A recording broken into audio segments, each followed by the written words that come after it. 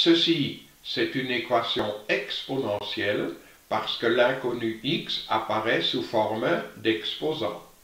Dans cette équation exponentielle, nous voyons que l'inconnu x apparaît uniquement sous la forme 3 exposant x.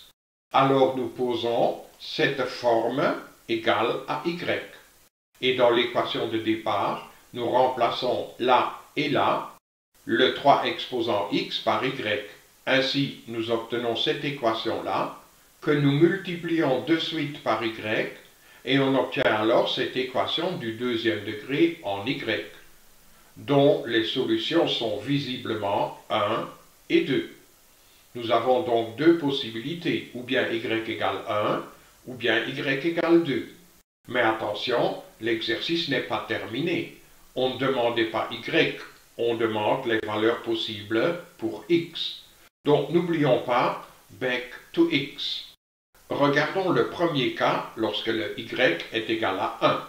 Ça veut dire que 3 exposant x est égal à 1. Et ce 1, on peut l'écrire sous forme 3 exposant 0. Et maintenant, nous avons ici une équation exponentielle d'un type très simple. Nous avons puissance égale puissance avec la même base. On peut en déduire que les exposants doivent alors être égaux. Donc nous avons déjà une solution de l'équation. Le deuxième cas, lorsque le y est égal à 2, mène vers 3 exposants x est égal à 2. Ici, nous n'avons pas la même base des deux côtés, mais ces nombres sont tous les deux strictement positifs. Donc, on peut appliquer un logarithme des deux côtés. J'ai choisi le logarithme népérien, mais on peut aussi prendre un autre logarithme, peu importe.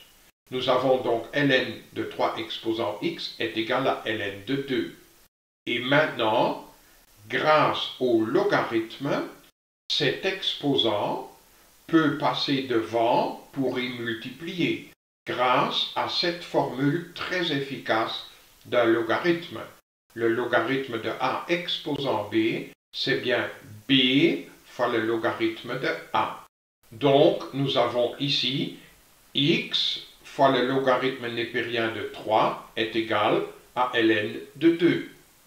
Et justement, nous voyons que cette équation exponentielle s'est transformée en une simple équation du premier degré à une inconnue qui n'est plus exponentielle. Voilà l'efficacité d'un logarithme, justement caché dans cette formule-là. Maintenant, il suffit de diviser par ln de 3 et nous avons trouvé une deuxième solution de l'équation, ln de 2 sur ln de 3. Donc ces deux solutions, nous les mettons bien dans l'ensemble solution et l'exercice est terminé.